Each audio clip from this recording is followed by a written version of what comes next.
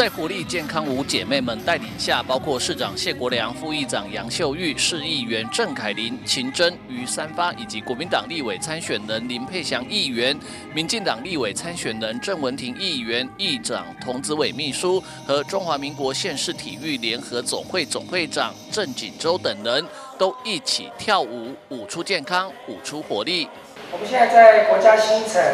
以及在七堵火车站。的楼上，我们都在打造室内的健身中心。到时候，一般的民众不用加入任何的会员，也可以到这些地方共同的来舒展筋骨。不过，那个有一些健身器材，还是像这样子跟大家聚在一起跳跳舞，活络筋骨。也运动健身是最健康的，所以在这边祝大家身体健康，然后我们永远永远跟着国一姐一起运动，一起开心，一起健康，好不好？好！很多美容也是我认识的一些好姐妹哦，所以我以今天来到现场来鼓励大家，真的要走出户外，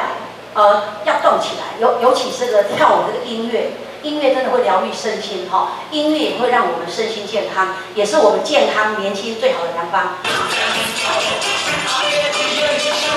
这场在仁爱国小举办的基隆市运动爱台湾二点零计划活力健康舞观摩赛，就是为了十月底在基隆举行的台湾区全国秋季运动会做准备。台湾区全国秋季运动会本来在花莲，因为花莲明年要办更大。所以临时改为基隆，跟市长报告，市长马上支持。在我们十月三十号，我们有一个三千人，包括说我们的活力健康舞、土风舞、柔力球，还有我们的有氧舞蹈，还有我们包括全国的锤球、剑道、慢速垒球，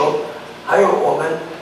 所有的比赛都在金融办。市长谢国良也亲自颁发奖牌，鼓励姐妹们努力练习跳舞的辛苦，也呼吁市民朋友多多运动，舒展筋骨，守护自己的健康。记者吴俊松机动报道。